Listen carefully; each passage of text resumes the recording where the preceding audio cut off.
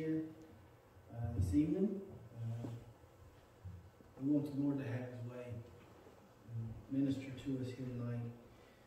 But if you turn with me to Haggai, the second chapter, starting at the fifth verse, the Bible says, according to the word that I covenanted with you, when ye came out of Egypt, so my spirit remaineth among you. Fear ye not. For thus saith the Lord of hosts, Yet once it is a little while, and I will shake the heavens and the earth, and the sea and the dry land, and I will shake all nations, and the desire of all nations shall come, and I will fill this house with glory, saith the Lord of hosts. Can we trust the Lord tonight? I think He's proven to us time and time again that we can trust Him tonight we can put our confidence in Him because He will not fail us and He will not let us down. But not only will He not fail us, the word here says that I covenanted with you when ye came out of Egypt, so my spirit remaineth among you. Church, this evening, do we realize that the Lord has covenanted himself with us, that his spirit will remain with his people? It's not just that we have to walk through this life alone.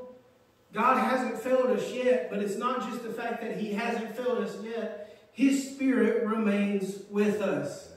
His Spirit will go with us to encourage us. His Spirit will go with us to lead us, to guide us, to give us the direction that we need for our everyday path. Because His covenant is forevermore. It will not be broken. There's a difference between a covenant and a promise. A covenant is something that is kept no matter what may happen. If I covenant something with you, it doesn't matter what you do along the way. It doesn't matter what happens along the way. I have to keep that covenant or else I'm a liar. You see, a promise normally comes along with some kind of deal. It comes along because I say, well, I'll do this for you if you do this for me. We can see in the Bible there are many, many promises that God gave the people. In fact, most everything throughout the Bible is a promise because the way the Lord gives it to us, the way the Lord works it out, and He words it, is a if then. If you will humble myself, or humble yourselves and seek my face, then I will heal your lands. That's the way God does so many things throughout the Bible, is he gives us promises. But in this situation, God did not just give his people a promise. He covenanted with them that his spirit should remain with his people. Church, today, it's not a promise that God has given to us. It's not a conditional agreement that we have to hold up our end of the bargain for His Spirit to remain with us. He has covenanted Himself to be with us. Amen. Now, Brother Christopher, does that mean we can do whatever we want to do? That does not mean we can do whatever we want to do. There is favor to be found in the eyes of the Lord. And in order to find that favor, we have to find ourselves in the will of the Lord. However, the covenant still remains even when we are not in the will of God, that His Spirit will not leave us. Sometimes, believe it or not, that Spirit of God can be torment. What do you mean? I mean that if we find ourselves in sin, if we find ourselves outside of the will of God, that spirit will come at times and it will torment us to try to bring us back to God. But through it all, that spirit remaineth because the covenant will not fail. We need to hold on to the covenants of God.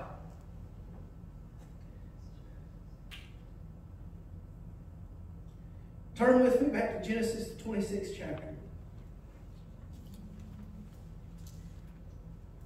And this might seem kind of, I guess, shotgunish, but I'm going to bring it to a point with the Lord's help at the end. The 26th chapter of Genesis, starting at the 15th verse, says, For all the wells which his father's servants had digged in the days of Abraham his father, the Philistines had stopped them and filled them with earth. And Abimelech said unto Isaac, Go from us, for thou art much mightier than we. And Isaac departed thence, and pitched his tent in the valley of Gerar, and dwelt there. And Isaac digged again the wells of water which they had digged in the days of Abraham his father. For the Philistines had stopped them after the death of Abraham. And he called their names after the names by which his father had called them. And Isaac's servants digged in the valley and found there a well of springing water. And the herdmen of Gerar did strive with Isaac's herdmen, saying, The water is ours. And he called the name of the well Esek, because they strove with him. And they digged another well, and strove for that also. And he called the name of it Sitnah. And he removed from thence and digged another well, and for that they strove not. And he called the name of it Rehoboth. And he said, For now the Lord hath made room for us, and we shall be fruitful in the land. And he went from thence to Beersheba. And the Lord appeared unto him in the same night, and said, I am the God of Abraham thy father. Fear not, for I am with thee, and will bless thee and multiply thy seed for my servant Abraham's sake.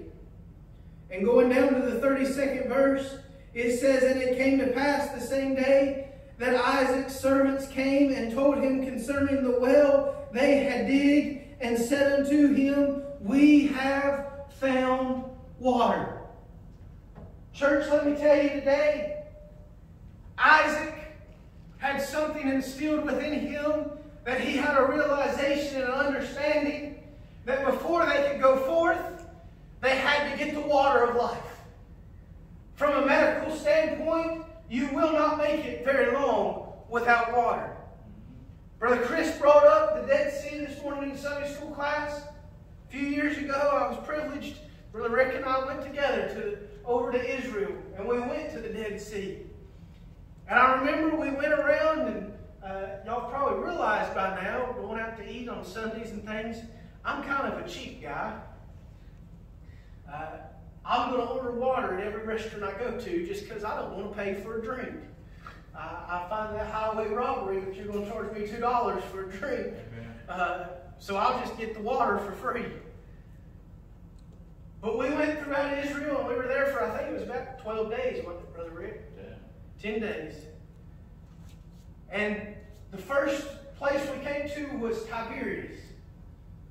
And every time we ate, I got water because it was free. We went on, I can't remember the next place we went to, uh, but we went somewhere else. We stayed. And I got water because it was free. But then we went to the Dead Sea. And we got to the restaurant that night and we sat down to eat. And I ordered water because it was free. And when I order water, I don't expect my water to have bubbles in it. but I took one big gulp of that water and quickly ordered myself a Coke. And it didn't matter the cost to me anymore. Because even though the water did not come directly from the Dead Sea, the water around that area had become so salty and so contaminated that it was disgusting to put it in our mouth. But that whole area, I don't know if you remember Brother Rick, but that entire area around the Dead Sea was a dying land. In fact, we saw places that they had built, uh, homes that were constructed, buildings that were erected, that at one time stood at the edge of the water. They were waterfront properties, so they said. But now, and they said they were just built 15, 20 years ago. But now the water was 100, maybe 150 feet away from these buildings because the sea was evaporating. The water was leaving. Church, we've got to understand today if we don't have water, we're going to be in a dead land. If we don't have the water of life, if we don't have that refreshing spirit of God coming and working amongst us, dwelling amongst us, we're going to be in a dry and barren land that will lead us to a place of death. Isaac realized this. So, where did Isaac start? Isaac started by going and finding the wells that his father had dug and redigging them. Church, I want to tell you tonight the church of God is rooted and grounded in the Word of God. That's where it's based out of, that's where it's founded out of. But it's time, it's been 118 years, no, 119 years since the shine of the church of God. Since the church arose this side of the dark ages to carry on the work. I believe somewhere along the lines, the enemy has come in and some of those wells that once provided water have been stopped up. Church, it's time for us as the church today to go back and redig the wells. Our forefathers, A.J. Tomlinson, and some of those older ministers, they went and they found the life source. They found a revelation that many others, nobody else in that time had. They went and sought something out. And they got a hold of it and carried the vision. Church, it's not that I want to go back and I want to become A.J. Tomlinson, but I won't think it's time for us to go back and redig until we find the same life source that A.J. Tomlinson found. It's time for us to go back and start digging again until we find the same revelation that A.J. Tomlinson found. You see, church,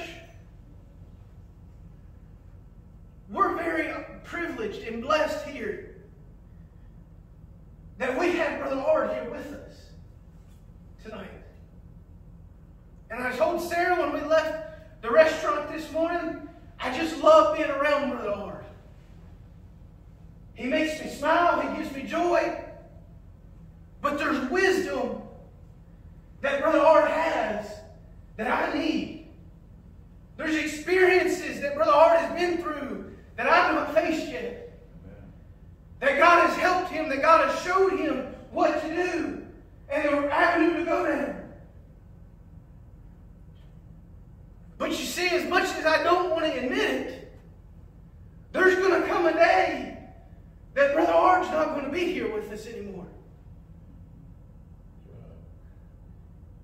And church, if all we've said and all we've done along the way is say, Look at the wisdom that Brother Ard has. When that wisdom is no longer here, we're going to find ourselves hurting and lacking. But while I may never experience the exact same things that Brother Ard has been to, through, I can go back and I can dig the same wells that Brother Ard dug.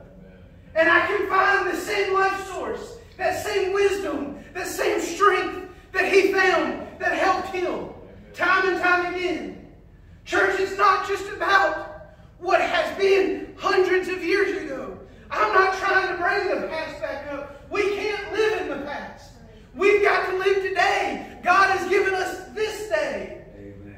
But what I'm saying is the things of, that our forefathers, the things that our leaders, the things that those that we look to with high esteem and high regard found are still there for us to find today.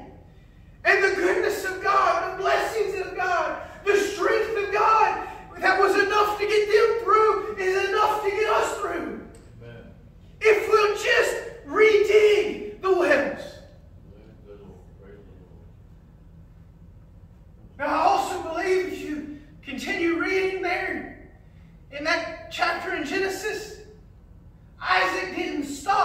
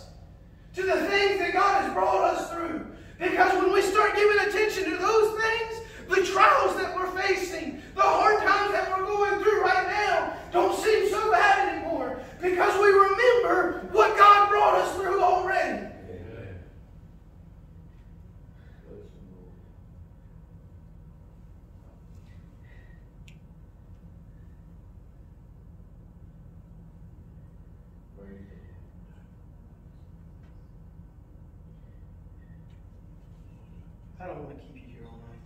We cut some of this out.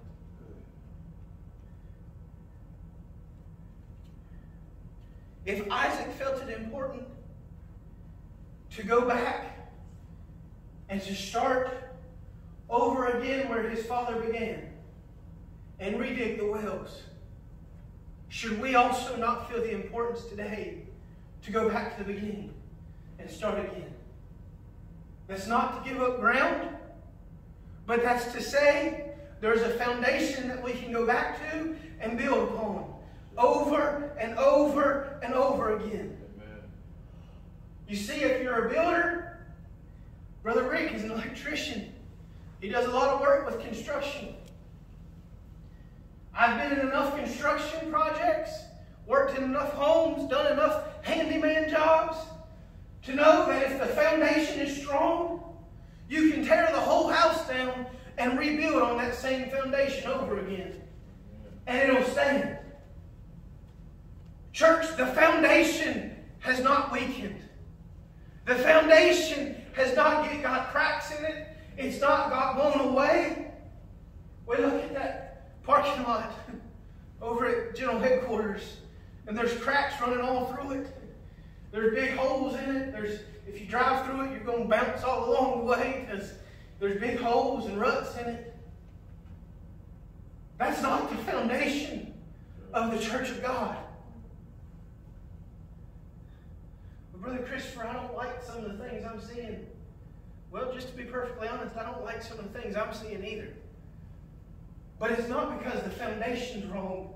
It's because the things that have been built on top of the foundation aren't holding, aren't standing the test of time, aren't weathering the storms that come this way. The foundation is still strong.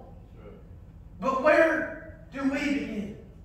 I'm not just here to preach a generalized message to say this is what the church needs to do.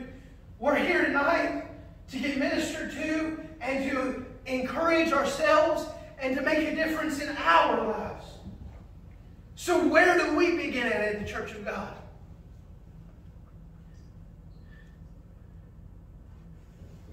We can say we begin at salvation, but that's not the beginning for us in the church of God. Salvation is the beginning for us in the kingdom of God. He brings us into the kingdom when we get saved. If we're going to start in the church of God, it starts with us laying our hand on a Bible. And it starts with us taking a covenant. Remember, I started this message with saying that a covenant, no matter the conditions, no matter what happens, no matter what I do in my life, no matter what you do in your life, the covenant remains. Church, that's the foundation that you and I, as members of this body, have to work on. Is the fact that we took a covenant and said that we agreed to take the whole Bible, rightly divided. Not just this verse here and this verse there, but the entire Bible as the Word of God fact, the covenant says, Will you sincerely promise, in the presence of God and these witnesses, that you will accept this Bible as the Word of God, believe and practice its teachings, rightly divided, the New Testament as your rule of faith and practice, government and discipline, and walk in the light to the best of your knowledge and ability. As far as I know, with the exception of Sam, Every single one of us in here tonight has laid our hand on that Bible. And that's been read to us. And we responded by saying, I will. Amen. Church, there's not a single person that forced you to say those words. But of your own choice, you entered yourself into a covenant to take the whole Bible.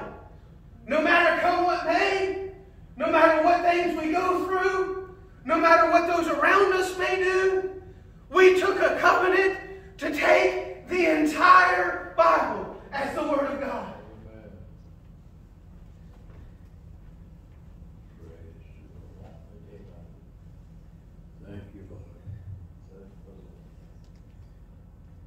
Church, Brother Rick had of these, and this afternoon and gave it out. I'm thankful that he has a desire to share the Word of God. Something I need to get better about. But this 29 teachings track is not what you covenanted yourself to. Believe it or not, this advice to members track is not what you covenanted yourself to. You laid your hand on this Bible.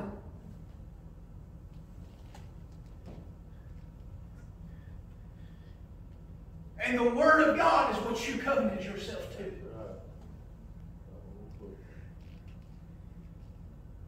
I was talking with somebody a couple years ago.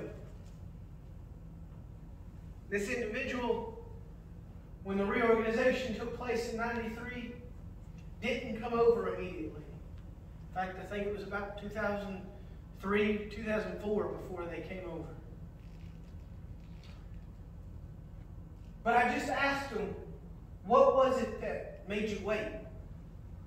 Why didn't you come over immediately? Why didn't you feel like that was the right choice? And the person told me was it took me a long time to realize I did not covenant myself to the name of the Church of God Prophecy. But I coveted myself to the Word of God and to God. Church, let me tell you something today. We are members of the Church of God as the organization. But the covenant we took was not just between the organization and us. The covenant we took was between us and God. It was between us and the Word of God. We've got to hold on to God because that's who our covenant's with. We've got to hold on to the Word of God because that's where our covenant lies. That's the foundation that we built on. That's what it started out as, is taking a covenant with the Word of God and building from that point forward.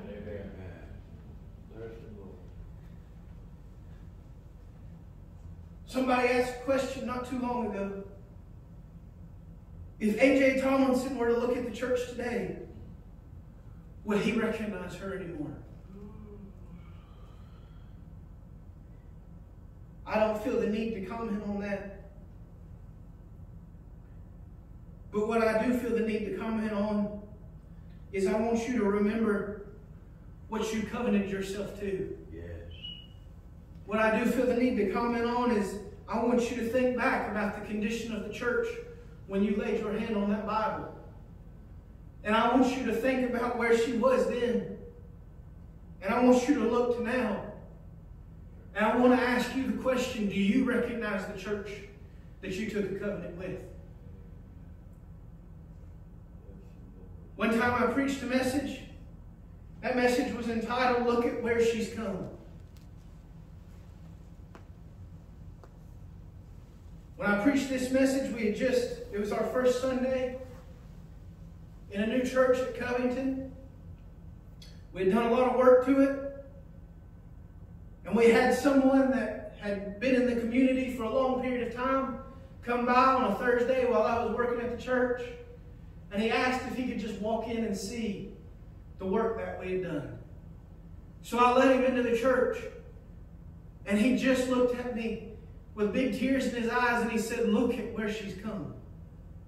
She looks so good. That church had fallen in disrepair.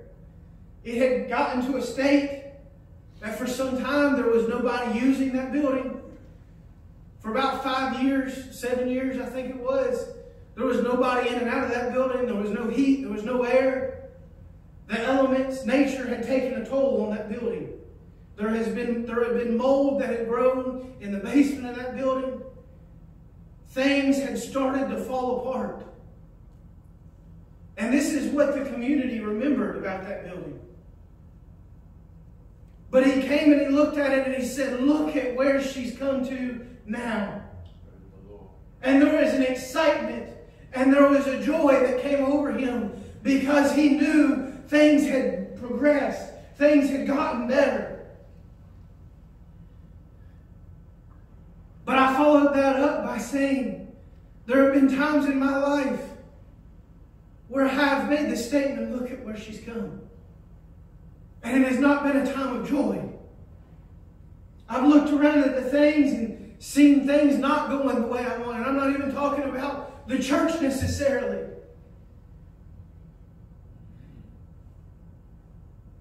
But I remember having tools one time I bought a uh, golf cart. Thought I got a really good deal on that. Let me tell you something. If you find something that's too good of a deal to be true, probably it probably is. but I bought a golf cart. And I thought for sure, the person that sold it to me said, I don't, I don't know if it really runs or not. It ran the last time I tried to use it. So I said, well, it'll be fine. It ain't no big deal. Probably just needs a battery. Well, even this dumb old boy here can change a battery out. So I went and bought a battery. Put a battery in it. Guess what? It still didn't run. And I worked and I worked and had a really, really close friend that came and helped me and we started taking apart everything. We took apart the carburetor. We took, we drained out the gas tank and we did this. We cleaned the fuel filter. We cleaned everything we could find, the air filter. We went through. And over time, eventually, when all that was left was to take the engine out and change it out. And I said, I'm not doing that. We finally got it running again. But I remember along that process, I looked and I said, man, look at where she's coming. I poured all this money in. I poured all this work into it. And it's still not running. It wasn't favorable. Church, I want to ask you the question today. Look at where she's come. Do you recognize her? Is she where is she where you think she should be? More importantly than that, is she where the Word of God tells us we should be? And if your answer to that is no, what are you doing to change that? The definition of insanity is to do the same thing over and over again and expect a different result. That's our government. You're not wrong. but, church, how many times are we coming to church and doing the same thing over and over again, expecting a different result? If we're going to see a different result, it's going to be because we somewhere along the line did something differently. It's because somewhere along the line we got a deeper relationship with God. Because somewhere along the line we got serious about things and wouldn't take no for an answer. We've heard the term many times that someone renewed their covenant. The word renew or renew means to begin or take up again, to make effective for an additional period, to restore or replenish. Tonight, I want to take some time and I want us to go before the Lord. And I want us to ask Him to renew within us that covenant that we took. Church, I don't know about you. I took the covenant in 2003. My grandpa was the pastor at Lynchburg, Virginia Church at that point. And I'd been wanting to take the covenant for about six months and join the church. But my grandpa wanted to be the one to take me in. And I wanted him to be the one to take me in. So we worked and we worked and we worked. And finally, our schedules got together. And I was able to go and be with him in a revival service. And he took me into the church. And I remember the excitement that came over me that night. Because I was so happy just to be a member of the church of God. I knew it was the bride of Christ. I knew what God had shown me, what He had revealed to me, and I knew what I was supposed to do. And there was an excitement and a joy that came because I was obedient to God, because I took the covenant.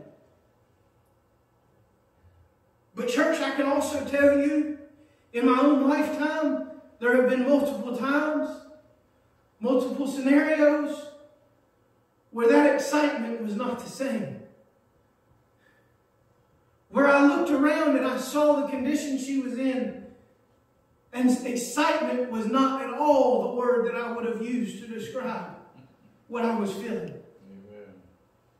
Distress, hurt, anger, But, church, today, we need a renewed excitement to be members of the church of God. Amen. Is that going to mean everything is going to be perfect overnight? It's not going to happen. I'm just going to be honest with you.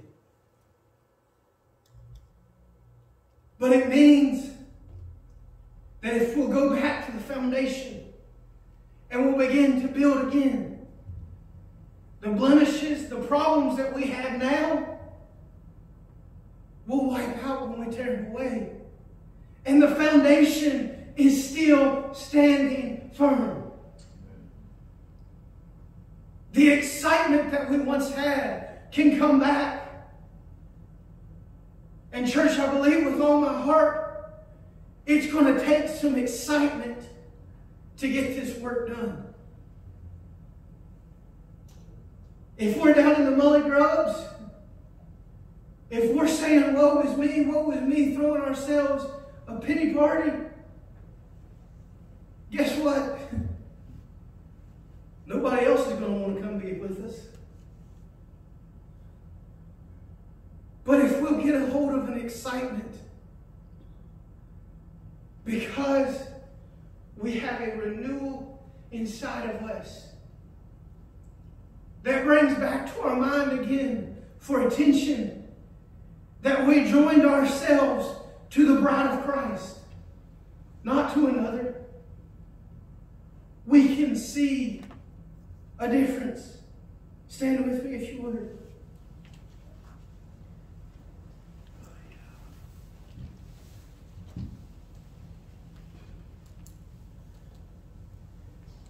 In the second message that was leading up to the call for the Solemn Assembly in 1993, the Holy Ghost said, For indeed, indeed, my people, I am moving in the midst of the church Yea, I am disappointed. I am very disappointed. Lo, I tell you, my people are sitting in places of death, and they refuse to come out. Brother Lofton went on to write in the book of remembrance, the second message spoke about places of death, which the people were sitting in. This refers to the dry formal atmosphere which permeated most of our churches at that time. If the Holy Ghost were to give us a report of the church today, what would it be? Would it be that his people are sitting in places of death? Would it be that we're sitting in dry, formal places. See, the Holy Ghost said he was disappointed. I don't believe he was so much disappointed at the fact that the people were in these places as much as he was disappointed at the fact that he said they refused to come out. Church of God, here at Southside, Today, we need to come out of the dead places, of the dry, formal atmosphere that has permeated the church. And we need to see an excitement renewed in us that we can carry on the work in the days ahead. That we can remember those words, will you sincerely promise, is the covenant we took. Tonight, I want us to find a place to pray. I want us to look to the Lord. If we have to tear down the walls, if we have to tear off the roof and go back to where it's just the foundation, that we placed our hand on the Bible and we made a covenant with God, so be it. But we need to go back and we need to renew within us the excitement, the encouragement, the fervency to be a part of the church of God again. Let's find a place to pray. Let's call out to the Lord here tonight.